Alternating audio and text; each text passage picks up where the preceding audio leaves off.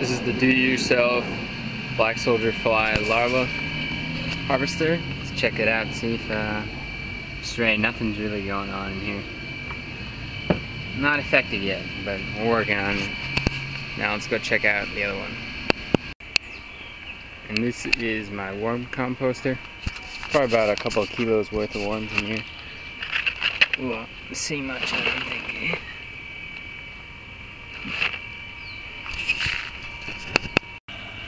Here we have one of these portable uh, worm units that I created. These are just uh, auxiliary worm bins for me. I just dump uh, whatever here. So we're gonna feed the fish in a second and I'll show you that. Showing you the worm bin. Made out of recycled stuff. Works pretty pretty well. Now here's the update on the system itself. Check out the fish tank in a second. Here we have the cherry tomatoes planted a while ago. They're really taking off. We have so much.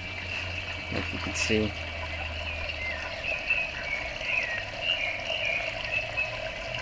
It should be ready quite soon.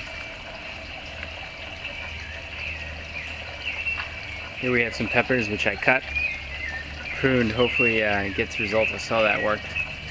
A lot of people cut the main stem off, very little, and uh, gives them a lot of a great high yield. And more tomatoes in the back. This is a squash plant which is starting to produce a lot. As you can see.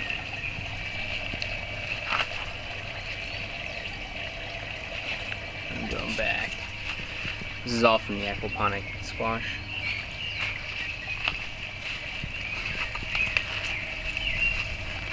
we go. Now these are the tomato trees. I call them trees because they're, they're so huge.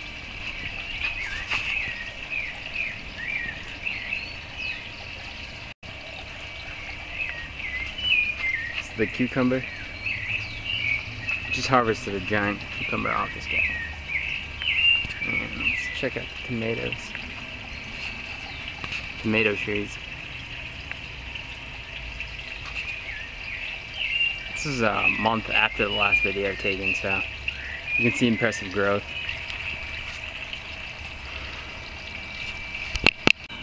These are the worms I just harvested. We're gonna feed them to the fish and give you guys a show.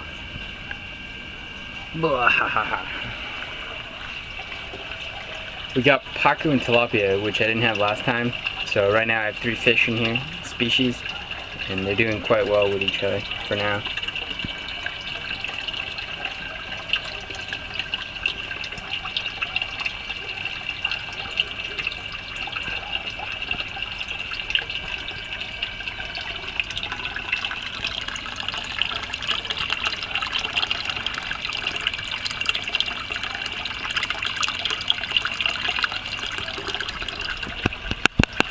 Ba-dum, ba-dum, ba-dum, ba-dum, wow. Wow. Ba-dum, ba-dum, ba-dum, ba-dum, ba-dum, ba-dum. God. On the side, can we maximize the space? I'm using bag gardens with containers. They have nylon bags. Here we have some cherries I took off the trees over there, the plants and I'm growing my own separate here to maximize the space.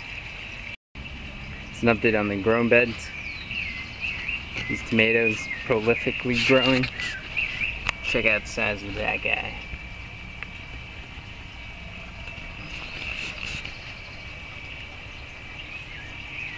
Squashes aren't doing so great. I didn't give them enough space. The uh, zucchinis that went up vertical, I harvested a bunch off them. But right now there's not too much activity going on. Last night we had our first casualty. It's been a long time. We lost a brave, noble koi.